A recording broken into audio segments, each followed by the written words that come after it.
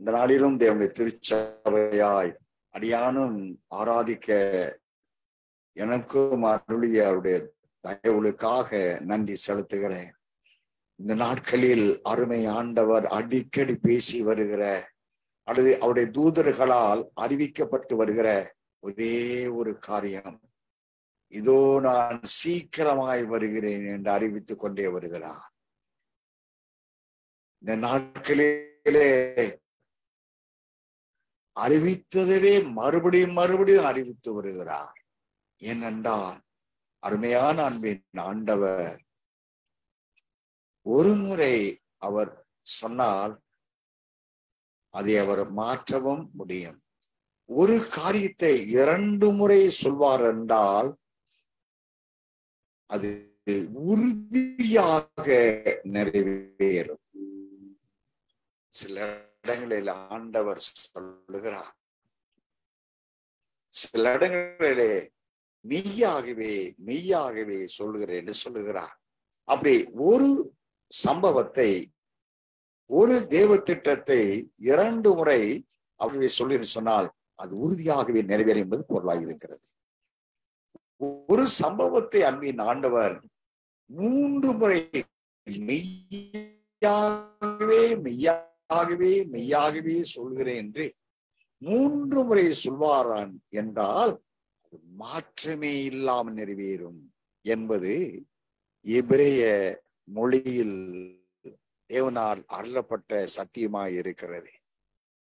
அனுபடினாலே தேவ பிள்ளைகளாகிய நாம் இந்த சத்தியத்தை ஆன்லைன் மூலமாக கேட்டுக்கொண்டிருக்கிற தேவ சனங்களாகிய தேவ ஊழியர்களாகிய நாம் ஆண்டுடைய ரகசிய வருகை மிகவும் சமீபமான வேலையிலே நாம் அவரை தொழுது கொண்டிருக்கிறோம் என்பதை மறந்து விடாதபடி அவரை சந்திக்க நாம் ஆயுத்தமாக அர்ப்பணித்துக் கொண்டோராய் காணப்பட நம்முடைய அன்பின் நேசரா நேசராகிய மனவாளன் எதிர்பார்த்து கொண்டிருக்கிறார்.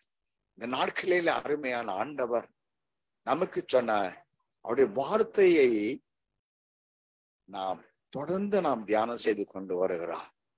அவர் வெளிப்படக்கூடிய வேளையிலே அவரை சந்திக்க ஆயத்தமாக கூடியவர்களை சார்ந்து மனவாட்டியின் ஒரே வார்த்தையில் அவர் சொல்லி முடித்திருந்தாலும் இந்த மனவாட்டியானவர்கள் யார் என்பதை வேதா நமக்கு விளக்கம் காட்டுகிறது. நாம் வாசிப்போம். மார்க்கு என்பவர் எழுதின சுவிசேஷம் ஒன்றாம் அதிகாரம் பதினான்கு பதினைந்தாவது வசனங்களை வாசிப்போம். யோவான் காவலில் வைக்கப்பட்ட பின்பு இயேசு கலிலேயாவிலே வந்து தேவனுடைய ராஜ்யத்தின் சுவிசேஷத்தை பிரசங்கித்து காலம் நிறைவேறிட்டு தேவனுடைய ராஜ்யம் சமீபமாயிட்டு மனம் திரும்பி சுவிசேஷத்தை விசுவாசியுங்கள் என்றார். அருமையான கத்திரி பிள்ளைகளே யோவான் சானகன் அவரும் மனம் திரும்பி சுவிசேஷத்தை விசுவாசியுங்கள். என்று அவரும் பிரசங்கித்தார். பிரசங்கித்து அவரும் ஞானசானம் கொடுத்தார் என்று நாம் இதே அதிகாரத்திலே மூன்று நான்கு வசனங்களை வாசிப்போம். கர்த்தருக்கு வழியை ஆயத்தப்படுத்துங்கள். அவருக்கு பாதைகளை செவ்வை பண்ணுங்கள் என்று வனாந்திரத்திலே கூப்பிடுகிறவனுடைய சத்தம் உண்டாகும் என்றும் தீர்க்க தரிசன ஆகமங்களில் எழுதியிருக்கிற பிரகாரமாய் யோவான் வனாந்திரத்தில் ஞானஸ்நானம் கொடுத்து பாவி பாவ மன்னிப்புக்கென்று மனம் திரும்புதலுக்கு ஏற்ற ஞானஸ்நானத்தை குறித்து பிரசங்கம் பண்ணி கொண்டிருந்தான். கர்த்தர் வரப்போகிறார். மன்னவன் இயேசு வரப்போகிறார். ஆகையினால் அவரை சந்திப்பதற்கு ஏதுகரமான ஆவிக்குரிய வாழ்க்கை என்ற வழியை அவர் ஆயத்தப்படுத்துகின்றவராய் யோவான் ஸ்நானகனாக வெளிப்பட்டார். அவரை ஏறுவது கொலை செய்து போட்டான் என்று நாம் அறிந்தலாய் இருக்கிறோம் அதன் பிறகு அருமைய ரட்சகர் வெளிப்பட்டு தேவனுடைய ராஜ்யம் வரப்போகிறது. ஆகையினாலே யோவான் ஸ்நானங்களால் அறிவிக்கப்பட்டபடி வழியை அவருக்கு ஆயத்தப்படுத்துங்கள் என்று அறிவிக்கப்பட்ட அதே சத்தியத்தை யோவான் அருமை ரட்சகர் அறிவிக்கிறார். இயேசு கலிலேயாவே வந்து தேவனுடைய ராஜ்யம் தேவனுடைய ராஜ்யத்தின் சுவிசேஷத்தை பிரசங்கித்தார். இயேசுவாகிய மகாராஜா தேவனுடைய ராஜ்யத்தின் சுவிசேஷத்தை பிரசங்கித்து அந்த சுவிசேஷத்தினாலே வெளியேற வெளிப்பட போகிற தேவனுடைய ராஜ்யத்தை குறித்து அவர் உறுதிப்படுத்துகிறார். தேவனுடைய ராஜ்யத்து குறித்த சுவிசேஷத்தை அவர் பிரசங்கித்து அந்த ராஜ்யம் சமீபமாயிற்று. இனி வெகு காலமாகாது. அந்த ராஜ்யம் வெளிப்படுவதற்குரிய வேலை சமீபமாயிற்று. ஆகையினாலே நீங்கள் ஒவ்வொருவரும் மனம் திரும்பி அந்த தேவனுடைய ராஜ்யத்துக்குரிய சுவிசேஷமாகிய நச்சிரியை நீங்கள் நம்பி ஆயத்தப்படுங்கள் என்று சொல்லி அருமையரச்சவர் அறிவித்தார். தான் சுருக்கமாக காலம் நிறைவேறிற்று. தேவனுடைய ராஜ்யம் சமீபமாயிற்று. வெகு தூரத்தில் அல்ல தேவனுடைய ராஜ்யம். அது சமீபமாயிற்று. ஆகினாலே நீங்க செய்ய வேண்டியது என்ன? முதலாவது மனம் திரும்புங்கள். இரண்டாவது தேவனுடைய ராஜ்யத்துக்குரிய சுவிசேஷம் இருக்கிறதே அதை நம்புங்கள் விசுவாச அதை விசுவாசியுங்கள் என்று சொல்லி வலியுறுத்தினதை நாம் பார்க்க முடிகிறது. அருமையான கத்திரி பிள்ளைகளே பொதுவாக தேவனுடைய ராஜ்யம் என்றால் நாமும் இந்த ஆவிக்குரிய மண்டலமும் என்ன எண்ணிக்கொண்டு இருக்கிறது என்றால் சியோனை குறித்து தான் தேவனுடைய ராஜ்யம் வரப்போது தேவனுடைய ராஜ்ய ராஜ்யம் வந்து எண்ணிக்கொண்டு இருக்கிறோம். அறிவிக்கப்பட்டவர்களாகவும் நாம் வாழ்கிறோம்.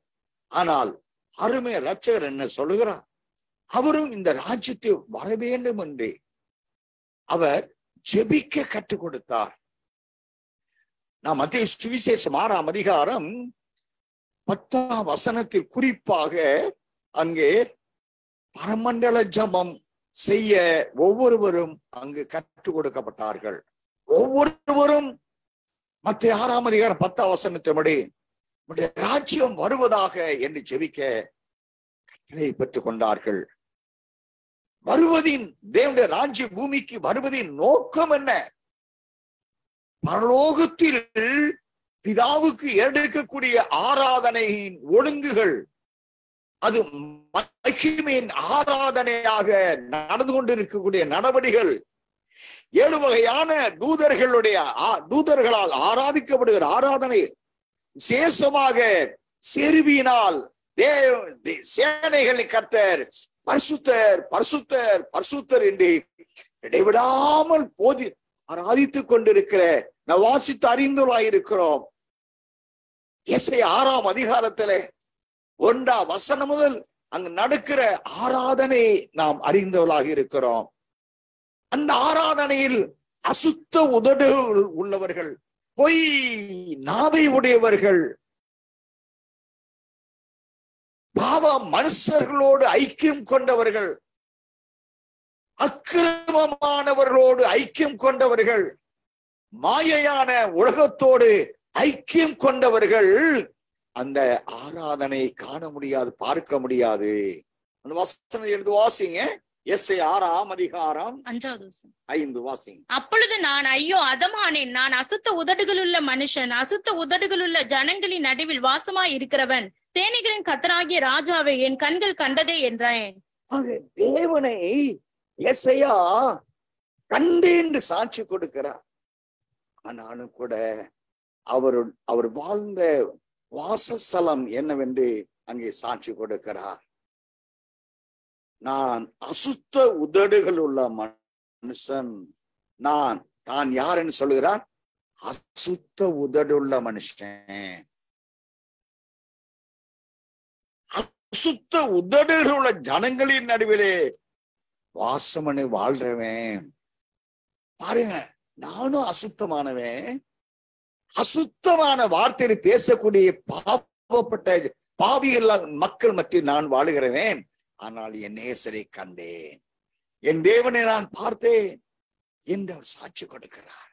காரணம் என்ன? மூன்றாம் வசனத்தை வாசிங்களேன் ஒருவரை ஒருவர் நோக்கி சேனைகளின் கத்தர் பரிசுத்தர் பரிசுத்தர் பரிசுத்தர் பூமி அனைத்தும் அவருடைய மகிமையால் நிறைந்திருக்கிறது என்று கூப்பிட்டு சொன்னார்கள். இப்படிப்பட்ட பரிசுத்தமான ஆராதனை கூட வாசிங்களேன். சேராபீன்கள் அவருக்கு மேலாக நின்றார்கள். அவர்களில் ஒவ்வொருவனுக்கும் அவ்வாறு செட்டைகள் இருந்தன. அவனவன் இரண்டு செட்டைகளால் தன் தன் முகத்தை மூடி இரண்டு செட்டைகளால் தன் தன் கால்களை மூடி இரண்டு செட்டைகளால் பறந்து.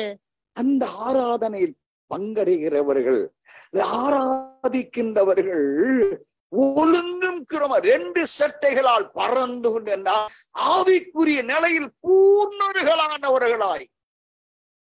அவர்களுக்கும் இந்த பூமிக்கும் எந்த ஒரு ஐக்கியம் இல்லாத நிலையில் உலகத்தை வெறுத்தவர்கள் மாம்சத்தை வெறுத்தவர்கள் ரெண்டு சட்டைகளால் பாதங்களை மூடிக்கொண்டு ரெண்டு சட்டைகளால் முகத்தை மறைத்துக் கொண்டு ஆக மாம்சத்தை உலகத்தை பாவத்தை அடக்கி அவற்றின் ஜெயம் பெற்றவர்களாய் ஆவிக்குள் முழுமையான பூர்ண ரூபவதிகளானவர்களாய் சொல்லுகிறார்கள் ஆராதனையிலே. சேனைகளை கற்று பரிசுத்தர் பரிசுத்தர் பரிசுத்த இப்படிப்பட்ட ஆராதனை பூமியிலே நடக்க வேண்டும். என்பதற்காக தேவன் பரமண்டல ஜபத்தை செய்ய கற்றுக் கொடுத்தார். நம்முடைய ராஜ்யம் வருவதாக பரமண்டலத்திலே நம்முடைய சித்தம் செய்யப்படுவது போல பூமியிலையும் செய்யப்பட வேண்டும். இதனுடைய சுருக்கத்தை நாம் வெளிப்படுத்தும் விசேஷ இருபத்தி ஒன்றாம் அதிகாரம் ரெண்டு மூன்று. எரிசிலையும் ஆகிய பரிசுத்த நகரத்தை தேவனிடத்தில் நின்று பரலோகத்தை விட்டு இறங்கி வர கண்டேன். அது தன் புருஷனுக்காக அலங்கரிக்கப்பட்ட மனவாட்டியை போல ஆயத்தமாக்கப்பட்டிருந்தது. மேலும் பரலோகத்திலிருந்து உண்டான ஒரு பெருஞ்சத்தத்தை கேட்டேன்.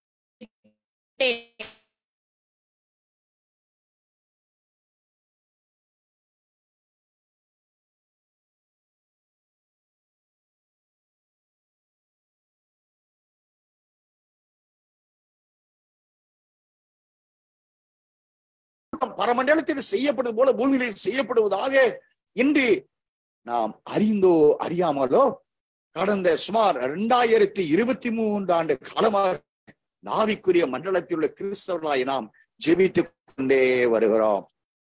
அந்த ஜபத்தை கேட்கிற ஆண்டவர் அந்த ராஜ்யம் வெளிப்படுவதன் நோக்கம் என்ன? அது எங்கே வெளிப்பட போகிறது? ராஜ்யம் வருவதாக ஜெபிக்கிறவர்கள் பூமியிலிருந்து ஜெபிக்கிறபடினாலே அவர் வாடுகிற அந்த பூமியில் வருவதாக பூமிக்கு வருவதாக வந்து அந்த ராஜ்யம் பூமியில் வாழக்கூடிய மனுஷர் மத்தியிலே தேவன் வாசம் நிர்வாச சொல்லமாக அது வெளியரங்கமாக தேவன் சித்தம் கொண்டிருக்கிறார். அவற்றில் அன்னி தரித்த அந்த தேவனுடைய தேவனுடைய தேவனுடைய சபை. அவற்றில் வாசமாயிருக்கிற ஒவ்வொருவரும் அவர்கள் என் ஜனங்களாயிருப்பார்கள். அவருடைய தேவனாயிருப்பேன். நான் அவளோடு கூட நடைபெற்று செல்வேன். இப்படிப்பட்ட ஒரு தேவன் தங்கி இருக்கக்கூடிய பரிசுத்தர்கள் பரிசுத்தமான ஊழியர்கள் இவர்கள் நடுவே தேவாதி தேவன் தங்கி தரித்திருப்பதாக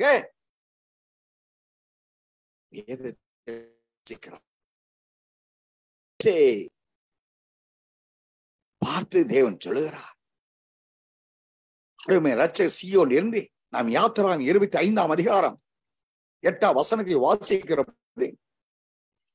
மோசே நான் இந்த ஜனங்கள் மத்தியில் வாசம் எனக்கு ஒரு பரிசுத்தமான ஸ்தலம் உண்டு பண்ணுவாயாக. என வாசம் ஒரு ஸ்தலத்தை உண்டு பண்ணுவாயாக. யாத்திராகமம் இருபத்தி நாற்பதாவது வசனத்தை வாசிக்கிற பொழுது அதற்கு அச்சடையாளங்களை அந்த வாசஸ்தலத்துக்கு ஒரு அச்சடையாளம் சொல்லுகிறாரு. நாற்பதாவது வாசிங்களேன். மலையிலே உனக்கு காண்பிக்கப்பட்ட மாதிரியின்படியே அமைத்து காண்பிக்கப்பட்ட மாறிபட்டாகவே இஸ்ரவேல் மத்தியிலே ஒரு ஆச்சரியத்தை கண்டு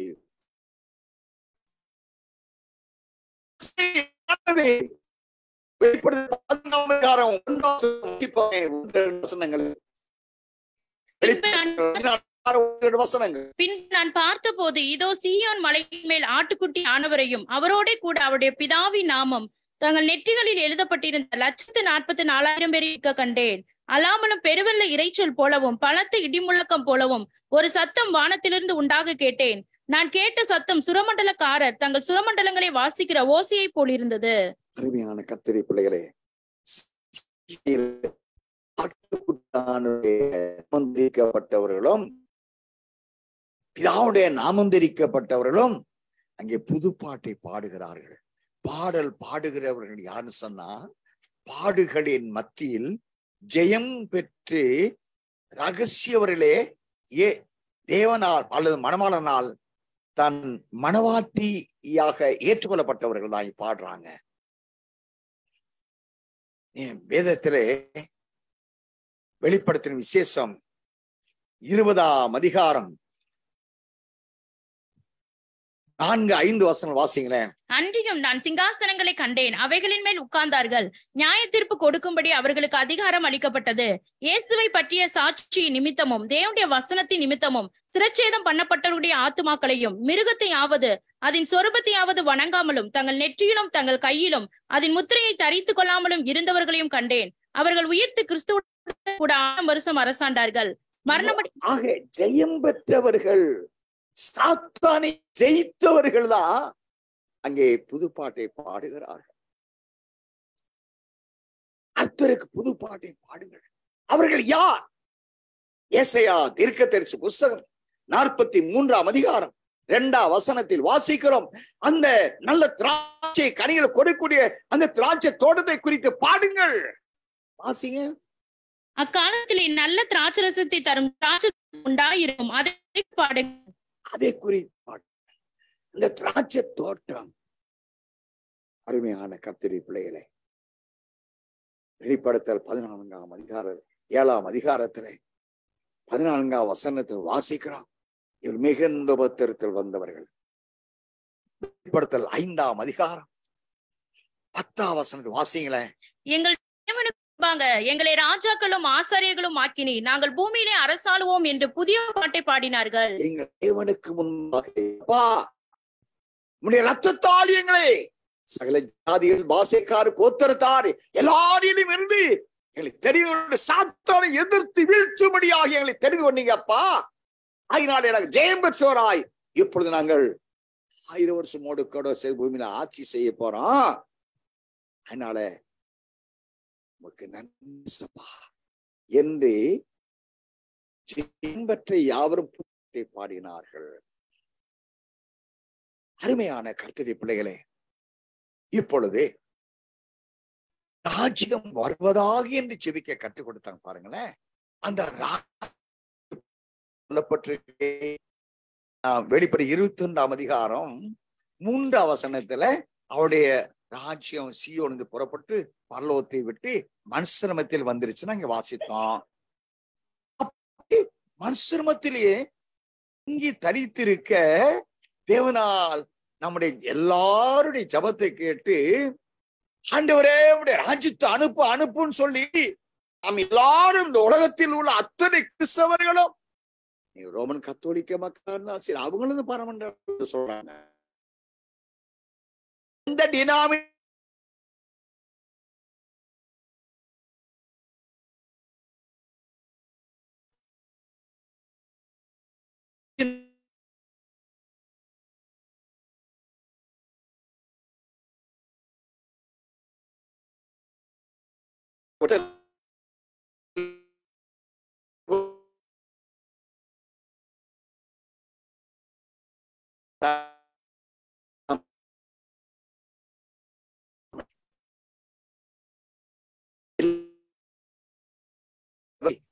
சீகோனிலிருந்து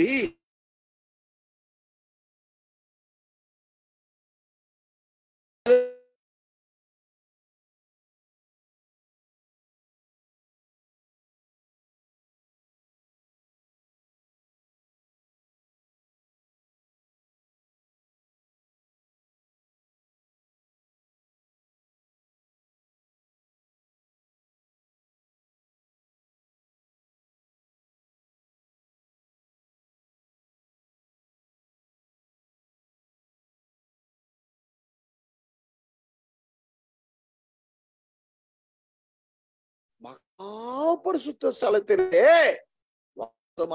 ஆண்டவர் ஜனங்களுடைய ஜெபத்தை கேட்டு அவர் அனுப்புகிறார். அனுப்பப்பட்டு வந்தத யோவான் திவ்ய வாசனை யோவான் பார்க்கிறார். அது தன் புருஷனுக்காக அலங்கரிக்கப்பட்ட மனவாட்டி போல இறங்கி வருது. அதை அவர் எப்படி பார்க்கிறாருங்க? கல்யாணம் நடக்க போகுது. சீக்கிரத்துல அந்த கல்யாணத்துல இந்த பூமியிலே தேவனுடைய வாசஸ்தலமா சபையா இருக்கக்கூடிய அவங்க அந்த கல்யாணத்துல மனைவாட்டியாக அவங்க அங்க போகணும். ஆகையினால மனுஷர் மத்தியிலே தேவனை தங்கி தரித்து சபையாய் ஆராதித்து மனவாட்டியாய் தாங்கள் ஆயத்தமாகணும். என்பதற்காக அதுக்கு பேரை சுட்டுகிறார். பரிசுத்த புதிய எருசலேம் நகரமாக தன் புருஷனுக்காக அலங்கரிக்கப்பட்ட மனவாட்டியை போல இறங்கியவர் கண்டு என்று சொல்கிறார் அருமையான இந்த அனுபவத்தை தான் நீ மத்தே சுவிசேஷ இருபத்தி ஐந்தாம் அதிகாரம் ஒன்று ஆறு பத்து இந்த வசனம் வாசித்தோம்னா அங்கே இவங்க பரலோ சியோனிலிருந்து பரிசுத்த புதிய எருசலேம் நகரமாக தன் புருஷனுக்காக ஒரு மனமாற்றியாக ஆயத்தமாக அனுபவப்பட்டு வந்த இந்த பரிசுத்தவான்கள் மனுஷர் மத்தியில் இருக்கிறாங்க இல்லையா? மத்தையு அப்போஸ்ராய் மத்தையு எழுதுகிற அதிகாரத்துல ஒன்று கொண்டு மனம் எதிர்கொண்டு புறப்பட்ட பத்து கன்னிகைகளுக்கு ஒப்பமிக்கும் சந்திக்க போட்டு போறாங்க. யாருங்க? பரலோக ராஜ்யம் அந்த பரலோக ராஜ்யம் யாரு சொல்ற பரலோக ராஜ்யம் மணவாளனை சந்திக்க அவர் போறாரு. வருகிற அவரை சந்திக்க இவர்கள் எதிர்கொண்டு போக புறப்பட்ட பத்து கன்னிகள் அப்ப பரலோகராஜ்யம் யாருங்க? பத்து கன்னிகைகள். இந்த பத்து கன்னிகைகள் போறாங்க. அதெல்லாம் நாம் தெரிஞ்சவங்க தான். அங்கே மத்த இருபத்தி ஐந்தாம் அதிகாரத்துல ஐந்தாம் வசனம் வாசிக்கிறோம். ஐந்து பேர் புத்தி உள்ளவங்க ஐந்து பேர் புத்தி இல்லாதவங்க. அப்படின்னா அதை குறித்து நாம் அறிந்துள்ளா இருக்கிறோம். புத்தி உள்ளவங்க கண்மலை மேல் தன் வீட்டை கட்டினவங்க. நான் சொல்லிய கட்டளைகளையும் என் வார்த்தை வசனங்களை கை கொண்டு அப்படியே ஜீவிக்கிறவங்க. புத்தியுள்ளவர்கள். நீ மத்தையு ஏழாம் அதிகாரத்தில் அதை பற்றி சொல்லப்படும் வாசிங்க மத்திய பெருமழை சொரிந்து பெருவெள்ளம் வந்து காற்று அடித்து அந்த வீட்டின் மேல் மோதியும் அதுவில்லை. ஏனென்றால் அது கண்மலையின் மேல் அஸ்தி போடப்பட்டிருந்தது. நான் சொல்லி இந்த வார்த்தைகளை கேட்டு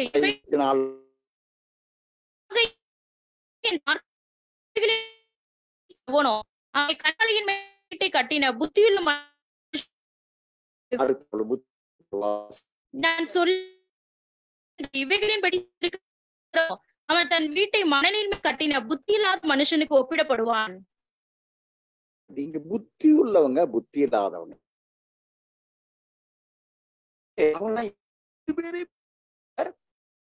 பூர சந்திக்க அவங்களுடைய ஆவிக்கு பிரயாணம் தான் புறப்பட்டு போனார் வாசிக்கிறோம்ல பத்து பேர் மனவாள் சந்திக்க பல்லவராஜ்யம் தன் மனவாள் சந்திக்க கனிகளுக்கு புறப்படுகிறால் யாத்திரை பண்றாங்க அப்படின்னா ஆவிக்குரிய ஜீவிதம். அந்த ஆவிக்குரிய வாழ்க்கையில் அவங்க இயேசு வார்ப்பீங்க நாமெல்லாம் இயேச வரப்போறாரு. அவர் சந்திக்க நாமெல்லாம் ஆயத்தமாகணும் என்று சொல்லி நாம் பிரசங்கிக்கிறோம். சாட்சி கொடுக்கிற ஆயத்தமாகறோம் பாருங்களேன். அது போன்ற ஒரு ஆவிக்குரிய ஆயத்த வாழ்க்கையைத்தான் புறப்பட்டு போதல். இயேசு மகாராஜா வரப்போகிற இடத்திற்கு அந்த கதவண்டை இவர்கள் சென்றடைவதற்கு புறப்பட்டு போகிற வழியில் இவர்கள் அடையக்கூடிய ஆயத்தமாகிற ஆவிக்குரிய வாழ்க்கை. இப்ப இதுல பத்தாம் வசனத்தை வாசிக்கிறோம். வாசிங்களேன். அப்படி அவர்கள் வாங்க போன போது மணவாளன் வந்து விட்டார். ஆயத்தமாய் இருந்தவர்கள் அவரோட கூட கல்யாண வீட்டுக்குள் பிரவேசித்தார்கள். பாருங்களேன். அங்கே பத்து பேரும் பத்தாம் வசனம் மத்த இருபத்தி பத்தாம் வசனம் படி பத்து பேருமே போய் வெயிட் பண்ணிட்டு இருக்கிறாங்க. எப்போ கதவு திறக்கும்? அப்படின்னா கதவு திறக்கிற சத்தம் சொன்னா அர்த்தம் என்னன்னா நான் ஒன்று தசம் நான்காம் அதிகாரம் பதினாறு பல்லாவசனம் வாசித்திருக்கிறோம் பாருங்களேன். பிரதான ஒரு சத்தத்தோடும் தேவை காலத்தோடும் கத்தர் தாமே ஆரவாரத்தோடும் வானத்திலிருந்து இறங்கி வருவார். அப்பொழுது கர்த்தருக்குள் மறித்தவர்கள் முதலாவது எழுந்திருப்பார்கள். பின்பு உயிரோடு இருக்கான நாமும் கர்த்தர் வரைக்கணும். மேகங்கள் மேல் எடுத்துக்கொள்ளப்பட்டு இவ்விதமா இப்ப கர்த்தனை கூட சொல்லப்படுது பாருங்களேன். ஆக பத்தாம் வசனத்துல பத்து பேரும் போய் அங்கே உட்கார்ந்து இருக்கிறாங்க ஆனால் தேவன் என்ன சொல்கிறார் ஆறாம் வசனத்துல அங்க ரெண்டு ரெண்டு பகுதியா பிரிச்சு ஆனா பத்து பேருமே போய் அங்க போய் வெயிட் பண்றாங்க. வாசி வசனம். நடுராத்திரியிலே இதோ மணவாளன் வருகிறார். அவருக்கு எதிர்கொண்டு போக புறப்படுங்கள் என்கிற சத்தம் உண்டாயிற்று. மணவாளன் வர தாமதித்த போது அவர்கள் எல்லாரும் நித்திரை மயக்கமடைந்து தூங்கி விட்டார்கள் அருமையான கத்திரி பிள்ளைகளே இப்படி போவங்க மணவாளன் டைம் ஆயிடுச்சு ஆக அந்த பத்து பேர்ல புத்தி உள்ளவர்களும் ஐந்து பேர் புத்தி இல்லாதவருமானவர்களா இருக்கிறார்கள். இரண்டாவது வாசிங்களேன் அவர்களில் ஐந்து பேர் புத்தியுள்ளவர்களும் ஐந்து பேர் புத்தி இல்லாதவர்களுமாய் இருந்தார்கள். பத்து பேருமே அப்படின்னா புத்தி உள்ளவர்கள்னா வசன அப்படியே கை கொண்டு வாழுகிறவர்கள். அவங்கதான் புத்தி உள்ளவங்க. அஞ்சு பேரு. இல்லாதவர் என்றால்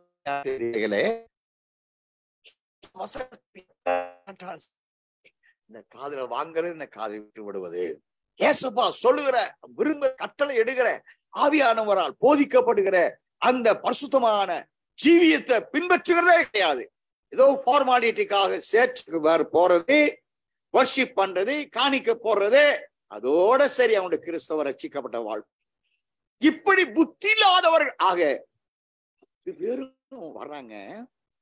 ஆனா முடிவுல தான் யாருதான் சேர்த்து கொள்ளப்படுவாங்க சேர்த்து கொள்ளப்படுறது? இப்ப நாமெல்லாம் வந்திருக்கிறாங்க. நாவிக்குரிய மண்டலத்துல நீ ஆராதித்து கொண்டு இருக்கிறோம். நம்முடைய கிறிஸ்தவத்தினுடைய பேசிக் கோல் இந்த கிறிஸ்டியானிட்டினுடைய பேசிக் எக்ஸ்பெக்டேஷன்ஸ் என்னன்னு தெரியுங்களா? ஒரு ஒரு ஆழ்ந்த எதிர்பார்க்குது என்னன்றீங்களா தெரியுங்களா? இயேசு வரப்போகிறார் இயேசு வரப்போறாய் மனவனா வரப்போகிறார். வரும்போது என்னுடைய ஆவல்கள் எல்லாம் நிறைவேறும்படி என்னை மனவாட்டிய சேர்த்துக்குவாரு. அதுதான் எக்ஸ்பெக்டேஷன்ஸ் இவருடைய ஈக எக்ஸ்பெக்டேஷனாக ரிவீல் ஆகுது அருமையான கத்திரி பிள்ளைகளே. இப்போ புத்தி உள்ளவங்களும் புத்தியா ரெண்டும் ஒரே குரூப்பா தான் இப்ப நம்ம சபையில நான் போன வாரம் கூட சொன்னேன்னா ஆவியன் மிகவும் துக்கமாய் நம்மில் எத்தனை பேர் தான் இதுல சேர்த்து கொள்ளப்பட போறோம்? எத்தனை பேர் கைவிடப்பட போறாங்கன்னு ஆண்டோருக்கு உங்களுக்கு தான் தெரியும். என்று போன வாரம் கூட நாம் தியானிச்சோம். இந்த ஆவி நானும் மனவாட்டி தான் ஐயான்னு சொல்றாங்க. காட்டுப்புறா சத். என் நே- என் நேசர் என்னை சேர்த்து கொள்ள வருவார் என்று காட்டுப்புறா கூட பாடுதெல்லாம் பாங்க சத்தத்துக்கு இவங்க செவி காதல விழுன்னு இல்லையா?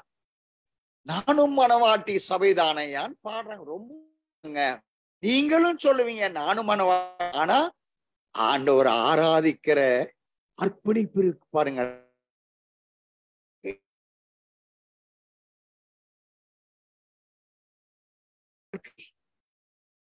ஒண்ணு உலக மனுஷன் இன்னொன்னு உன்னதமான மனுஷன். உன்னதமான மனுஷன் வெளிச்சம். மனுஷன் இருள். வெளிச்சம் இருள ஒன்று முடியுதா முடியாது வாழ்க்கையிலே என்னுடைய வாழ்க்கையிலே. நம்முடைய ஆவிக்கு கிறிஸ்தலா வாழக்கூடிய வாழ்க்கையிலே இருளும் ஒன்று கலந்து கொண்டு நானும் இயேசுவினர்களை சேர்ந்து கொண்டு அது எந்த வித ஏமாந்து போகாதிருங்கள் போகட்டும். இப்பொழுது சத்தியத்திற்கு நாம் கடன் சொல்வோம் இப்பொழுது பரலோகராஜ்யம் நம்மால் வேண்டிக் கொண்ட வேண்டுதல்களை கேட்டு ஆண்டவர் பூமியிலே பரிசுத்த புதிய எரிசிலை மனவாட்டி என்று ஒரு பெயரை கொடுத்து மனசிரமத்தில் பரலோகராஜ்யம் என்ற சொல்லப்பட்ட சத்திய வார்த்தையின்படியாய் மனுசிரமத்தில் சபையாக இயங்கிக் கொண்டிருக்கிறது. இது இரண்டாயிரத்தி இருபத்தி மூன்று வருடத்திற்கு முன்பாக தேவனால் சொல்லப்பட்ட வார்த்தைங்க. அப்படி என்றால் இந்த சபையில் உள்ளவர்கள் தான் பத்து கன்னிகைகள். பத்து கனிகள் நம் வேதத்திலே சுவிசேஷம் அவனிடம்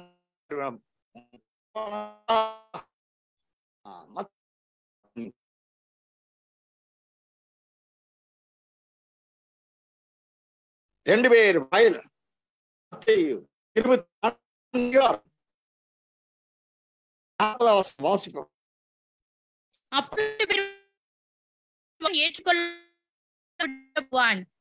ஸ்திரீகள் ஒருத்தி ஏற்றுக்கொள்ளப்பட்டு ஒருத்தி கைவிட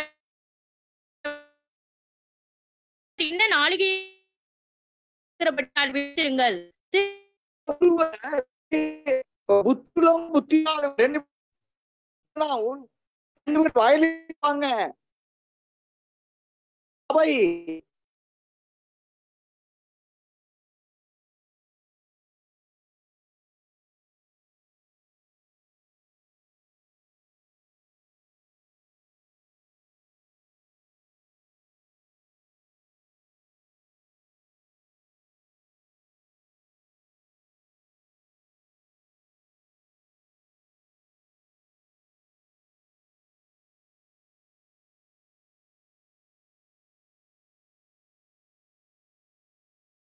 பூமி எனது ஸ்திரீக்கு உதவியாக தன் வாயை திறந்து வலுசிற்பம் தன் வாயிலிருந்து ஊற்றின வெள்ளத்தை விழுங்கினது. அப்பொழுது வலுசிற்பமானது ஸ்திரீயின் மேல் கோபம் கொண்டு தேவனுடைய கற்பனைகளை கை கொள்ளுகிறவர்களும் இயேசு கிறிஸ்துவை குறித்து சாட்சியை உடையவர்களும் ஆகிய அவருடைய சந்ததியான மற்றவர்களுடனே யுத்தம் பண்ண சந்ததியான மற்றவர்கள் பதினாலாம் வசனத்தின்படி புத்தி உள்ளவர்கள் அந்த பரலோராட்சியம் என்ற மனவாளி சந்திக்க ஆயத்தமானாங்க பாருங்களேன். அந்த பரிசுத்த புதிய மனவாடி சபையை புத்தியுள்ள ஐந்து பேர் பறந்து போக பெரும் களிரண்டு சட்டைகள் கொடுக்கப்பட்டு பறந்து போன ஆசாளுக்கு. அதுல புத்தி இல்லாம இருக்காங்களே சரிபாதி சரிபாதியான சபையின் மக்கள். பரிசுத்த புதிய மனவாடி சபையே ஆவிக்குற மண்டலமே தயவு கூர்ந்து ஆடுகிறீர் தயவு செய்து உணர்வுடைய அழைக்கப்படுகிறீர்கள். ஐந்து பேர் புத்தியுள்ளவர்கள். பெரும் கழுகு என்றால் காத்து தேவனுடைய மனவாளை சந்திக்க போய் வாசலுக்கு வெளியே காத்திருந்தாங்களையா காத்திருந்தவங்க. அது கழுகு கழுகை போல் காத்திருந்தாங்க. முதல் அந்தி கிறிஸ்துவின் முதல் முன்னேற ஆண்டு காலம் வந்தது. சாத்தானை. வெளிப்பட பனிரெண்டாம் அதிகாரம் பதினோராம் வசனத்துபடி ஆட்டு ரத்தத்தால் சாட்சி வசனத்தினால் சாத்தானை தோற்கடித்தார்கள். தோற்கடித்து அந்த சாத்தானை ஜெயித்த கூட்டம் அவன்தான் புத்தி உள்ளவங்க பணாந்தரது காசால் பறந்து போகிறார்கள். அடுத்தார் போல கைவிடப்படுகிறவர்கள். அவளுடைய சந்ததியான மற்றவர்கள். அவர்களும் இந்த பரிசுத்த புதிய மனமாற்றி என்ன பரலோராட்சியத்திற்கு ஒப்பனையான அந்த சபையில? அவங்களும் விசுவாசிதாங்க. சபைக்கு நான் மனமாட்டி சபையா கொண்டவர்கள் தான் ஆனால் அவர்களுக்கு எத்தனை எத்தனை சு- சுயம் உலகம். ஆண்டவருக்கு ஆண்டு தேடுறதுக்கு ஒரு நாள் குறிச்சு வச்சுக்கிறது. எங்க ஏழு நாள் ஆண்டு கொடுத்து நீ யாருனால உனக்கா வச்சுக்கையா இந்த ஏழாம் நாள் ஒரு one or two hours please you you are calling to separate for the worship of God அதுக்காக so very very few hours ஆனா மனசாட்சி தொட்டு பாருங்க உங்க இதயத்தை நான் ரெண்டு இரண்டே மாடு கொண்டேன். நான் போகக்கூடாது. நான் கல்யாணம் பண்ணேன். போகக்கூடாது வயலை கொண்டேன் அகத்தியமா போய் பார்க்கணும். நாளை எனக்கு உண்டான அழைப்பை விட்டுருங்க ஐயா என்று வேண்டிக் கொள்கிற கூட்டம் இந்த அஞ்சு புத்தி இல்லாதவங்க. இந்த பலோராட்சியம் என்ற மத்த இருபத்தி ஐந்தாம் அதிகாரத்தின்படியும் வெளிப்படுத்தின விசஸ் இருபத்தி ஒன்றாம் அதிகாரம் ரெண்டு முதல் பத்து வசனங்களுக்கு உட்பட்ட பகுதியில் சொல்லப்படுகிற இந்த பலோராஜ்யமா தேவனுடைய வாசஸ்தலமான இந்த மணவாட்டி சபை இருக்கே. பரிசுத்த புதிய மனவாட்டி மணவாட்டி சபை. அங்கதான் புத்தி உள்ளவர்கள் இருக்க போறாங்க. அங்கதான் புத்தி இல்லாதவர்கள் இருக்க இருப்பாங்க. புத்தி உள்ளவர்கள் மறுரூபம் அடைஞ்சு வனாந்த பறந்து போவார்கள். புத்தி இல்லாதவர்கள் கைவிடப்படுவார்கள். அருமையான கட்டளை பிள்ளைகளே இந்த சுவிசேஷத்தை தான் இப்பொழுது மத்த மார்க் ஒன்றாம் அதிகாரம் பதினான்கு பதினைந்து வசனங்களுக்கு வருவோம். வாசிங்க மறுபடியும். யோவான் காவலில் வைக்கப்பட்ட பின்பு இயேசு கலிலேயாவிலே வந்து தேவனுடைய ராஜ்யத்தின் சுவிசேஷத்தை பிரசங்கித்து காலம் நிறைவேறிட்டு தேவனுடைய ராஜ்யம் சபீமமாயிற்று. மனம் திரும்பி சுவிசேஷத்தை விசுவாசியுங்கள் என்றார். இயேசு கலிலேயாவில் வந்து தேவனுடைய ராஜ்யத்தின் சுவிசேஷத்தை பிரசங்கித்து தேவனுடைய ராஜ்யம். நான் எதுங்க பண்ண இவ்வளவு நேரம் தியானம் செய்தா? புத்தியுள்ளவருடைய ஐக்கியம் என்ற பரலோக ராஜ்யம் என்ற பரிசுத்த புதிய மனவாட்டி. இந்த ராஜ்யம் வெளிப்பட போகுது. அந்த ராஜ்யத்துக்குரிய சுவிசேஷ நற்செய்தி எல்லாம் இருக்கு. அந்த நற்செய்தி.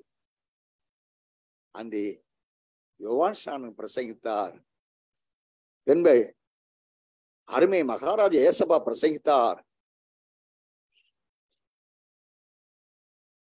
அதன் பிறகு அருமரச்சர் உயிர்த்தெழுந்த பின்பு நாற்பது நாளான நீ அப்போ சொல் நடவடிக்கை ஒன்றாம் அதிகாரம் ஒன்று இரண்டு மூன்று வசனங்கள் தயவு செய்து சீக்கிரம் வாசிங்க. தெயோப்பிலுவே இயேசுவானவர் தாம் தெரிந்து கொண்ட அப்போஸ்தலருக்கு பரிசுத்த ஆவியினாலே கட்டளையிட்ட பின்பு அவர் எடுத்துக்கொள்ளப்பட்ட நாள் வரைக்கும் செய்யவும் உபதேசத்துக்கும் தொடங்கின எல்லாவற்றையும் குறித்து முதலாம் பிரபந்தத்தை உண்டு பண்ணினேன். அவர் பாடுபட்டு அவர் பாடுபட்ட பின்பு நாற்பது நாளளவும் அப்போஸ்தலருக்கு தரிசனமாகி தேவனுடைய ராஜ்யத்துக்குரியவைகளை அவர்களுடனே பேசி அநேகம் தெளிவான என்ன? ஒரு நாள் ரெண்டு நாள் இல்லைங்க உயிர் தெழுந்த பூமியில ஏசப்பா நாற்பது நாள் சிசலோடு வாசம் பண்ணி வாழ்ந்தாரு பாருங்களேன். இந்த நாற்பது நாளளவும் புத்தியுள்ளவர்கள் புத்தி இல்லாதவர்கள் என்று ஐக்கியமான அந்த பலோராட்சியம் இருக்கு தேவனுடைய ராஜ்யம்.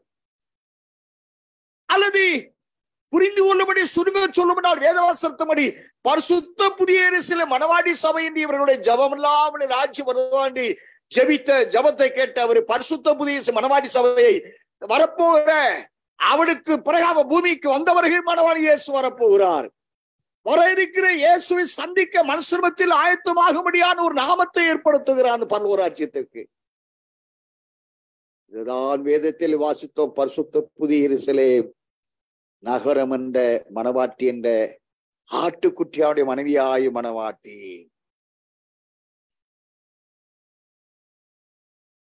அந்த அதற்குரிய சுவிசேஷம் உண்டு. அதை அனுப்பின நோக்கம் தான் மனவாளன் சந்திக்கணும் சேர்ந்து கொள்ளணும். அப்ப அப்பா சொல்றாங்க அழைக்கப்பட்டவர்கள் அநேக பத்து பேர். அநேக மக்கள் தான் ஆனால் ரகசிய எக்கால சத்தம் கேட்கக்கூடியவங்க சிலர். அருமை அப்பா ஒரு சொன்னாங்க. இந்த லெப்ட் அப்பாவுடைய லெப்ட் ஹேண்ட் ஃபிங்கர்ஸ்களை காண்பித்துங்க. நாளுமே ஆண்டோரை சீக்கிரம் வாங்கப்பா.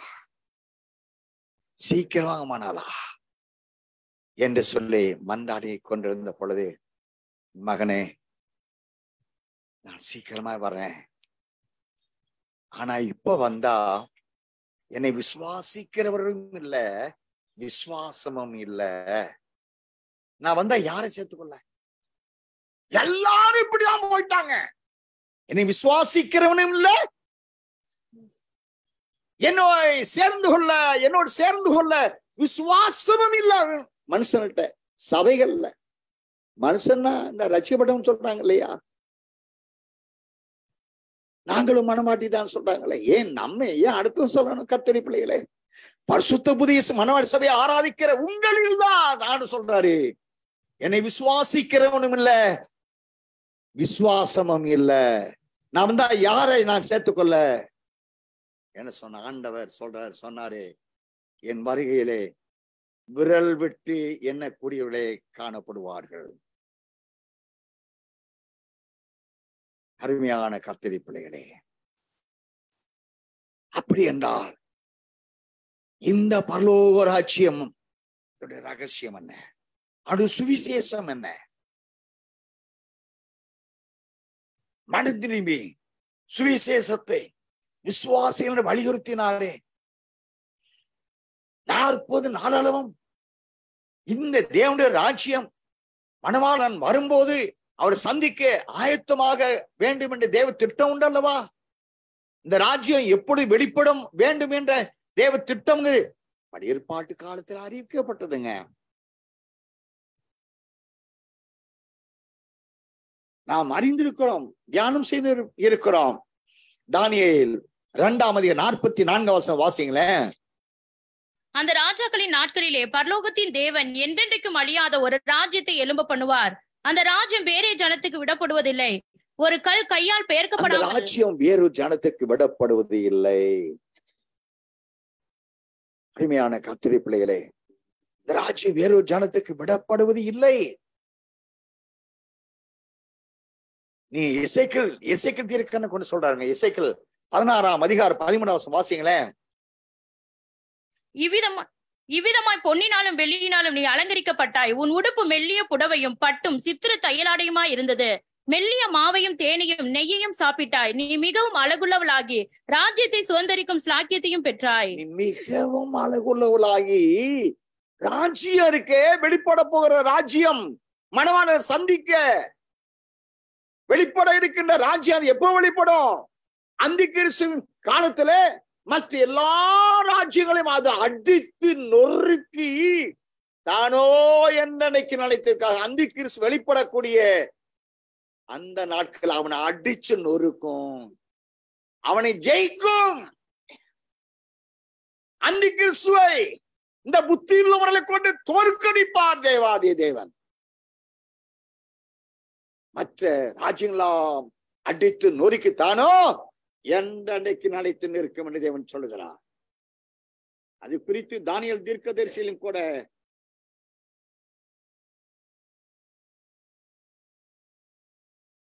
ஹalleluya.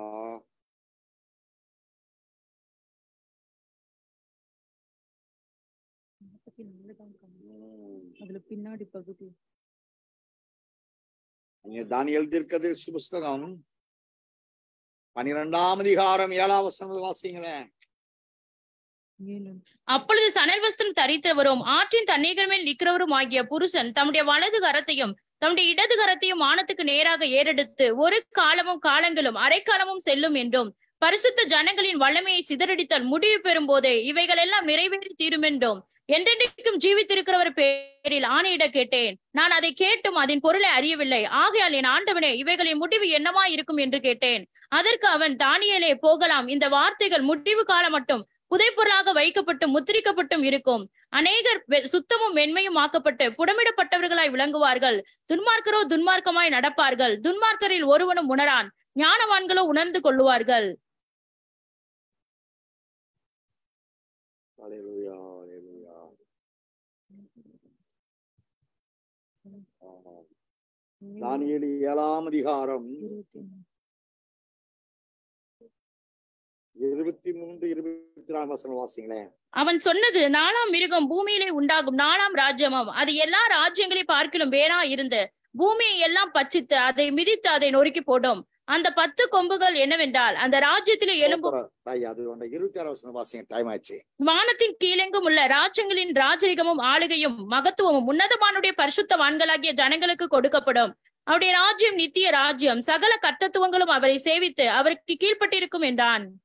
வானத்தின் கீழ் எங்கும் உள்ள ராஜ்யங்களின் ராஜரீகமும் ஆளுகையும் மகத்துவமும் உன்னதமானுடைய பரிசுத்தவான்களாய் ஜனங்களுக்கு கொடுக்கப்படும். அவருடைய ராஜ்யம் நித்திய ராஜ்யம். சகல கர்த்தத்துவங்களும் அவரை சேவித்து அவருக்கு கீழ்ப்பட்டிருக்கும். அப்போ உம்முடைய ராஜ்யம் வருவதாக என்று சொல்ல ஜெபிக்க நாம் கட்டளை பெற்று ஜெபித்துக் கொண்டிருக்கிறோம் அல்லவா? அந்த ராஜ்யம் எப்படிப்பட்டது? அது எந்தெந்தைக்கு நிலைத்து இருக்கும் அவருடைய ராஜ்யம் நித்திய ராஜ்யம். சகல கர்த்தத்துவங்களும் மாதிரி சேவித்து அப்படின்னா அந்த ராஜ்யத்துல சகல ஜாதி சகல பாசைக்கார் சகல கோத்தரத்தார் எல்லாரும் மீட்கப்பட்டோளாய் அதுல வந்து சேருவாங்க. நீங்க வெளிப்படுத்தின விசேஷம் ஏழாம் அதிகாரம். ஒன்பதாவது சுவாசிங்களே.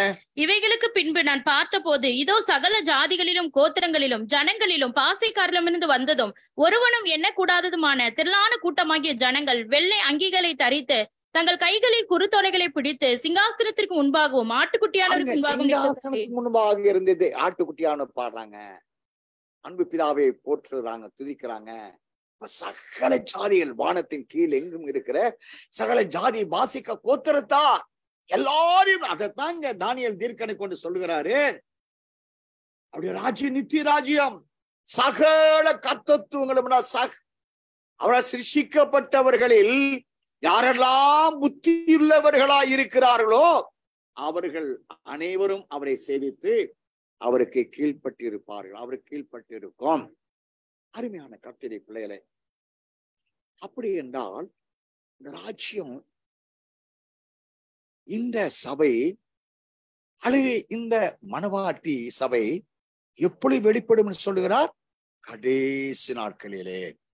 அந்தி கிறிஸ்து வெளிப்படக்கூடிய கடைசி நாட்களிலே அதுதான் நாம கடந்த நாட்கள்லாம் வாசித்து இருக்கிறோம் எஸ்ஐயா இருபத்தி ஏழாம் அதிகாரம் ஒன்றாம் வசனத்துல லிவியாதான் என்ற கோணலும் மாறுபாடமான பாம்பு தேவனால் வெட்டி அது பூமியில தள்ளப்படுது. அதே காலத்துல அக்காலத்திலே அக்காலம் கடைசி காலம். அவனை வெட்டி தழுவதும் அக்காலத்திலே ஒன் எஸ் இருபத்தி ஏழு ஒன்றிலே அக்காலத்திலே லிவியாதான் பாம்பு அங்கே கொல்லப்படுவான். ரெண்டாம் வசனத்துல அக்காலத்திலே அந்த முடிவான காலத்திலே அந்த அந்தி கிறிஸ் வெளிப்படக்கூடிய அதே ஏக காலத்திலே நல்ல கணிதரும் நல்ல திராட்சை தோட்டம் உண்டாயிருக்கும். அதை குறித்து பாடுங்கள். அதுதான் நல்ல திராட்சை தோட்டம். அதுதான் மணவாட்டி தோட்டம். அதுதான் மணவாட்டி சபை. நாம் கடந்த நாட்களில் தியானம் செய்திருக்கிறோம்.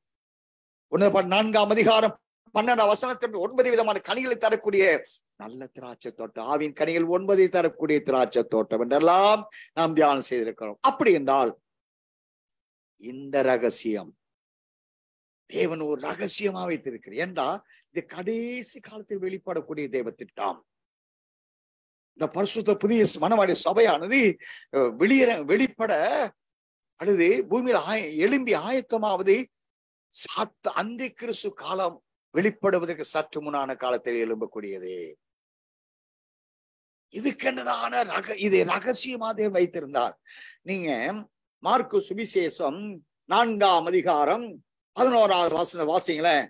மார்க்கு நான்கு பதினொன்று வாசிங்களேன். அதற்கு அவர் தேவனுடைய ராஜ்யத்தின் ரகசியத்தை அறியும்படி உங்களுக்கு அருளப்பட்டது. புறம்பே இருக்கிறவர்களுக்கோ இவைகள் எல்லாம் ஓமைகளாக சொல்லப்படுகிறது. ராஜ்யத்துக்குரிய ரகசியங்க. தேவனுடைய ராஜ்யத்துக்குரிய ரகசியம் அறியும்படி உங்களுக்கோ அருளப்பட்டு இருக்கு புறமே இருக்கிறவர்களுக்கு இந்த அறவேக்காடு இருக்கிறாங்க இல்லையா பண்டிகை கிறிஸ்தவங்க நாம கிறிஸ்தவங்க. புறமே இருக்கிறவர்கள். நான் வெளிப்படுத்த பதினோராம் அதிகாரத்தில் வாசிக்கிறோம். ஆலயத்துக்கு புறமே இருக்கிறது அது புறஜாதியானவர்களுக்குரியதை அளவு பார்க்காத விட்டுவிட்டு சொல்றார். அந்த புறம்பானவர்கள் புத்தி இல்லாதவர்கள் இயேசு கிறிஸ்துவின் சுவிசேஷத்திற்கு கீழ்ப்படியாதவர்கள் அவர்களுக்கு இந்த ரகசியம் வெளிப்படாது. இது தேவ திட்டம் தேவனுடைய ராஜ்யத்தின் ரகசியத்தை அறியும்படி உங்களுக்கு அருளப்பட்டது. புறம்பே இருக்கிறவர்களுக்கோ இவைகள் எல்லாம் ஊமைகளாக சொல்லப்படுகிறது. அவங்களாம் மேலெழுந்த வாரி அப்படியே பிரசங்கிப்பாங்க தேவ ரகசிய ஆழத்திற்குள் ஆவியானவர் அவர்களை அழைச்சிட்டு போக மாட்டாரு. ஏன்னு சொன்னா அது கடைசி காலத்துக்குரிய சத்தியம். அந்த ராஜ்யத்துக்குரிய சுவிசேஷமே தனிங்க. இந்த நான்கு சுவிசேஷத்து சொல்லப்பட்டிருக்கிற மத்தேயு மார்க்கு லூக்கா யோவானுக்கு பாருங்களேன். அது அல்லாமல் இந்த மனவாட்டிக்கென்று எழுதா வார்த்தை சார்ந்த அந்தி கிறிஸ்து அவனுடைய ஆட்சியை பற்றி ஏழுவட ஆட்சியை பற்றி ரகசிய வரியை பற்றி ஆயிரோட அரசாட்சியை பற்றி நித்தியத்தை பற்றி இவை ஒவ்வொன்றையும் தனித்தனியாக எல்லாம் மகிமை நித்திய மகிமைக்கு இவர்கள் தகுதி அடைவதற்கென்று அந்த ராஜ்ய அந்த மனவாட்டி சபைக்குரிய சுவிசேஷம் அதுக்கு முன்னானவர்களுக்கு மறைத்து வைக்கப்பட்டிருக்கு. உங்களுக்கோ அது வெளியரங்கமாக அருளப்பட்டிருக்கு. அவர்களுக்கு மனவாட்டிக்கு என்றதான் ஒரு அச்சுமில் சுவிசேஷம். அதுதான் கடைசி நாட்கள் வெளிப்படும் அச்சுமில் சுவிசேஷம். போசனை பவுல் சொல்லுகிறார். வாசித்தர் வாசி ரெண்டு தசோடிக்கு ரெண்டு பதினாலு வாசிங்களேன்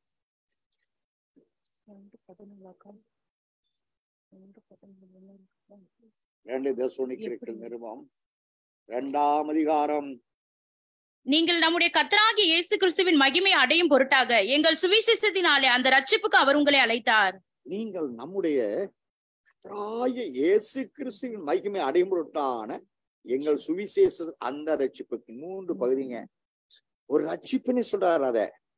அந்த ரட்சிப்புக்குரிய சுவிசேஷம்னு தனியா பிரித்தெடுக்கிறார் அந்த அப்போசனை பவுளை கொண்டு கடைசி நாட்கள் வெளிப்படக்கூடிய ஒரு ரட்சிப்பு அதைத்தான் மத்த இருபத்தி நான்காம் அதிகாரம் பதினான்காவது வசனத்துல முடிவு பரிந்தும் நிலைத்து நிற்பவனே ரட்சிக்கப்படான்னு சொல்றாரு.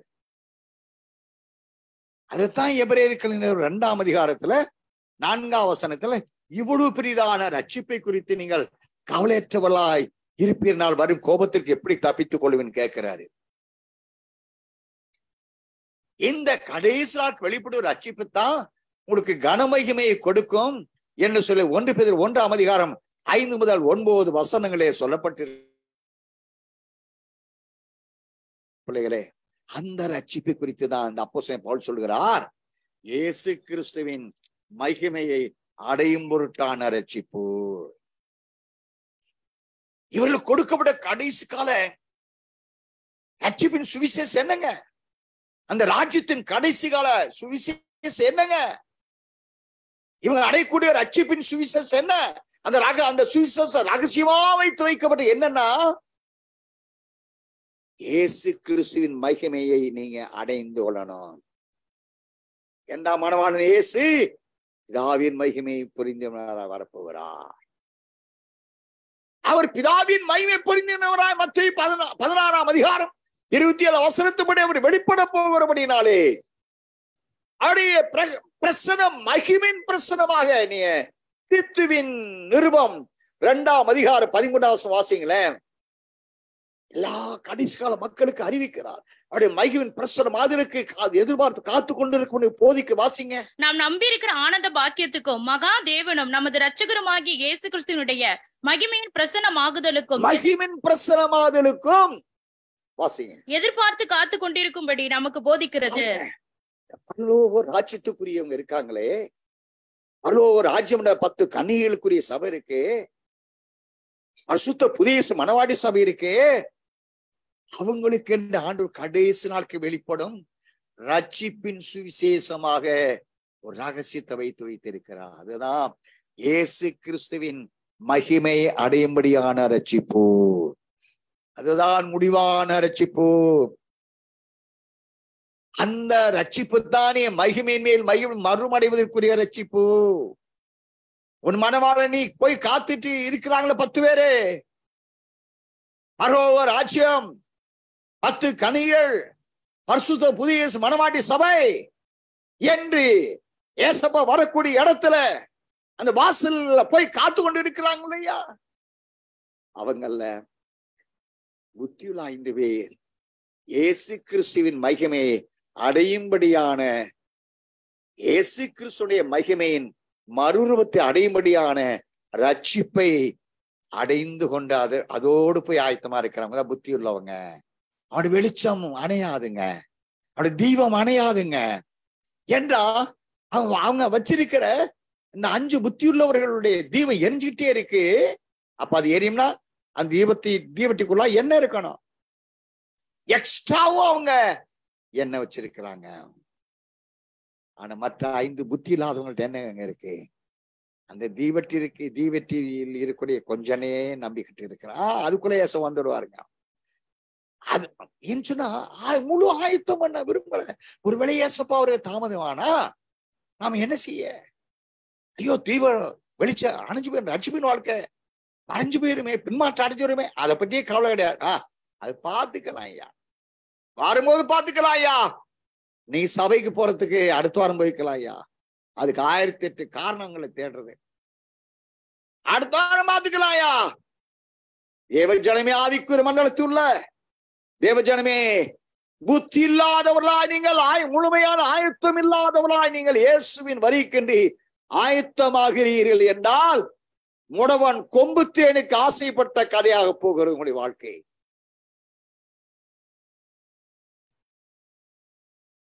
அவன் முடவன் ரெண்டு கால்கள் ஊனமானவன் ஆனால் அவன் விருப்பம் என்னங்க? மரத்து உச்சியில ஒரு தேன் இருக்குங்க. தேன் கூடு இருக்கு. அதுல ஏறி அந்த தேனை இவன் கைப்பட எடுத்து தின்னணும் நடக்குமாங்க அது?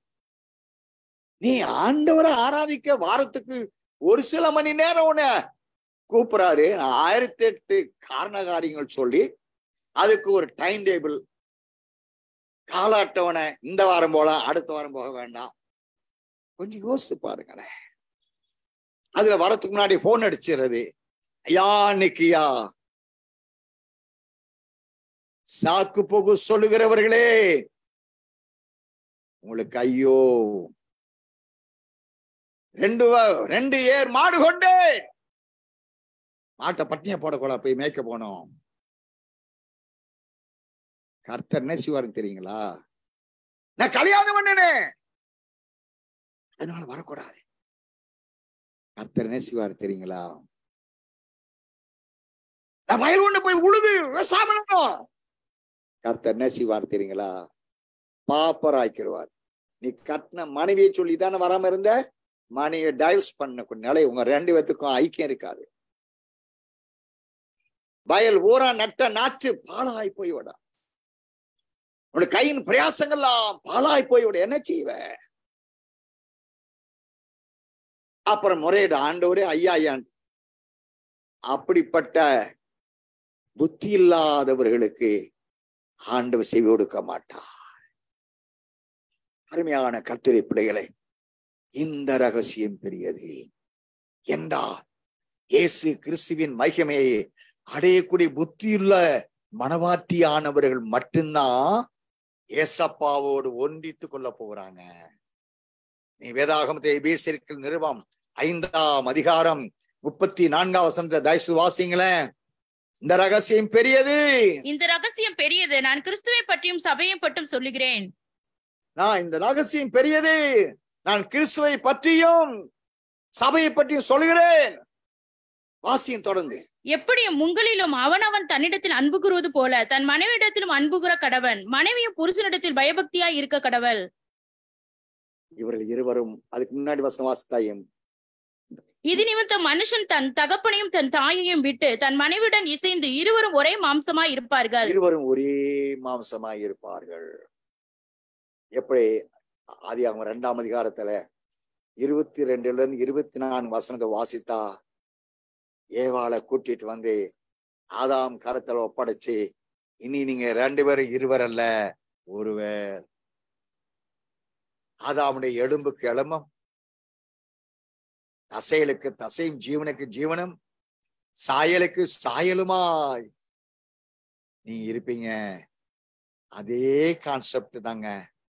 மணவாளனோடு இந்த புத்தியுள்ள ஐந்து பேர் இயேசு கிறிஸ்துவின் மகிமை அடைந்து கொள்ளும் ரட்சிப்பை சுதந்திரித்துக் கொண்ட புத்தியுள்ள பரிசுத்த புதிய மனவாட்டி சபையே நீ உன்னேசரோடு ஒன்றித்துக் கொள்வாய். உன்னேசருக்கு உலக சிநேகம் இருக்கா? உன் மனமான இயேசுவுக்கு உலகத்தில் சொத்து சோத்தை பற்றி ஆசை இருக்கா?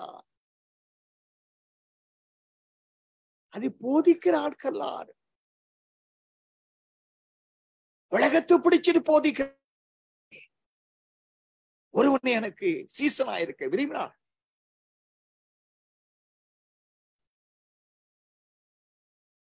சிலுவையை தான் சிலுவை எடுத்துக்கொண்டே உலக சிநேகம் தேவனுக்கு புறம் பகை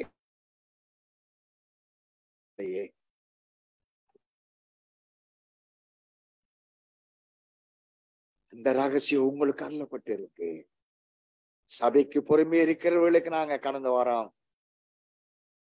திருநெல்வேலி உடைத்து போயிருந்தா. அங்க ஜனங்கள் வந்திருந்தாங்க தேவ ஜனங்கள் வந்திருந்தாங்க. வந்தவங்க அவங்க கடைசி என்ன சொன்னாங்க? இது எங்களுக்கு புதுசா இருக்கே. ஆனா நல்ல சத்தியம் தாங்க எங்களுக்கு ஒரு ஐயா சொன்னாங்க வீட்டுல கடந்த என்னைய ஏசபா தூக்கிட்டு வந்து போட்டு இவ்வளவு மென்மையான சத்தியத்தை கேட்க வச்சுட்டாரு. நல்ல சத்தியா ஒரு சொன்ன ஐயா என் இருத்த ஊடுருவி போச்சியான்றாரு. என்ன? ஆனா உங்களில் யாராயிலும் அது சொல்லக்கூடுமா? நீ மனவா பரிசுத்த புதிசு மனவாடி சபைக்கு வந்த நாள் முதலை கொண்டே தேவனுடைய ராஜ்யத்து கொடுத்த சுவிசேஷம். தேவனுடைய மகிமை இயேசுவினுடைய மகிமை அணிந்து கொண்டால் மட்டுமே நீ மனவாட்டி. நீ புத்தியுள்ள மனவாட்டி என்றால் இயேசு கிறிஸ்துவின் மகிமை மறுரூபத்தை அணிந்து கொண்டால் மட்டுமே நீ மனவாட்டி. நீ அணிந்து கொள்ளாவிட்டால் நீ மறுமனை ஆட்டி கூட தகுதி இருக்க மாட்ட. அந்த வாசனையே உனக்கு கிடைக்காது. பாருங்க கத்தடி பிள்ளைகள் பிள்ளைகள் சில நீங்க சொல்றீங்க. நான் ஜெபிக்கும் போது இந்த கையில மகிமின் வாசனை வெளிப்படுச்சு நிச்சயம் நடக்குங்க. நீங்க ஜெபிக்கிற அறை முழுவதுங்க. இந்த வீடு முழுமே தேவனுடைய மகிமையின் வாசனை நீங்க முகர முடியும். உண்மை உத்துமானவர்கள் நாங்க ஜெபித்து கொண்டிருக்கும் போதுங்க அடியான் நான் சாட்சி தான் சொல்ல எங்க அப்பா நம்முடைய இயேசுவை கேட்டுட்டு தான் இருக்கிறாரு. அடியான் ஜெபிக்கிற பொழுதெல்லாம் ஏசப்பா உலாவுவார். அவர் உலாவிக் கொண்டு இருக்கிற தெற்குரிய அடையாளம் என்னன்னு தெரியுங்களா? பேசுவாருங்க தூதரா வந்து பாடல் பாடுவாங்க. ஆஹ் தூதர்கள் சேர்ந்து நான் அடிமையும் நாங்கெல்லாம் சேர்ந்து பிதாவை மையப்படுது ஏசப்பாவை அந்த வேலையை பார்த்தீங்கன்னா இந்த ரூம் முழுதுமே ஒரே மகின் வாசம் ஏன் போன வாரம் இங்க யாரும் பங்கு பெற்றீங்க இல்லையா இந்த சாட்சி எத்தனை பேர் நீ அதுக்கு ஒரு சாட்சி கொடுத்தீங்க? இந்த வாரம் ஏன் இல்ல? அன்னைக்கு ஏசு இன்றைக்கு இல்லையா? ஏன் இல்ல? உலகம்! இருமணம் பேருக்கா வந்திருக்கிறீ வந்திருக்கிறீங்க. நான் சொல்வேன் அம்மா கூட கிரேசிங்க வா. நான் இருக்க ஜப அம்மா வெளிய அது வீட்டுல எங்க ரூம்ல இருப்பாங்க. கிரேசி இங்கே வா. இதோ மத்தியில் மத்தியில உட்கார்ந்து கேட்டு பாருங்க. இங்கே வா. உட்காரு ஆவிக்குள் ஒருமனப்படு. ஏசப்பாடு மகிவின் வாசனை. நீ உனக்கு ஸ்மெல் பண்றியா? ஆமாங்க. ஒரு நாளா ரெண்டு நாளா. அதன் அர்த்தம் என்னங்க? இந்த மனவாள் புத்தியுள்ள மனவாட்டியானவளாய் நீ தகுதி அடைய இயேசுவின் மகிமையின் வாசஸ்தலமாக நீங்க வாசம் ஜீவிக்கணும். மகிமையின் ஆத்துமாவாய் மகிமையின் ஊழியராய். அந்த தம்பி உட்கார்ந்து இருக்க கேளுங்க. வெனிசு நாங்க சீராளிப்பதி குளித்து போவோம். கடந்த நாட்களான சம்பவங்க. அங்கே போய் மூன்று நாள் நாட்- நான்கு நாட்கள் தங்கிறது காரணம் நாலு பிரான்ச் அந்த பகுதியில் இருக்கு. மயிலாடுதுறையில என்டர் ஆன உடனேங்க அந்த மகிமின் வாசனை வீச ஆரம்பிச்சதுங்க. அங்க நான்கு நாட்கள் தங்கியிருந்தோம். ஹவுஸ் ஹிஸ்டரி போனோம். பிரான்ச்சுகளுக்கு போனோம். ஆத்துமால் சந்தித்தோம். மகிமின் வாசனை. பாருங்க இந்த கட்சிப்பு ஓப்பனா சொல்றேனே. இந்த கர்ச்சிப்பு இதுக்குங்க நம்ம முகம் துடைக்கிறது தானே இதுதானே வச்சிருக்கிறோம். இந்த கட்சிப்புல கூட அந்த மையின் வாசனை இருந்ததுங்க. இந்த தம்பி கேட்டு பாருங்க. இந்த தம்பி எடுக்காம தம்பி சாரி வருத்தப்பட்டு அதிக மினிசு. இதை ஸ்மெல் பண்ணி பாருங்க. கத்தோடைய மகிமின் வாசனை பாருங்க. அழுக்கு படிந்த ஆனால் உன்னுடைய கட்சிப்பா இருக்கிறபடினாலே நீ இயேசு கிறிஸ்துவின் மகிமை அணிந்து கொண்ட அணிந்து கொள்ள போகிற மனவாட்டியான புத்தி இல்லை மனவாட்டியான மனவாட்டி சபையாய் நீ ஆயத்தமாகிறபடியால் உன்னுடைய வஸ்திரம் மட்டுமல்ல உன் ஆவியாத்துவ சரி மட்டுமல்ல. நீ பயன்படுத்த நீ தொடைச்சு போட்ட இந்த அழுக்கு துணியோட மைவன் வாசனை வீசுது. சாட்சி கேட்டு பாரு இந்த தம்பியை. ஆவிக்குரிய மண்டலமே நீ கேட்கிறா அதெல்லாம் அந்த காலம்.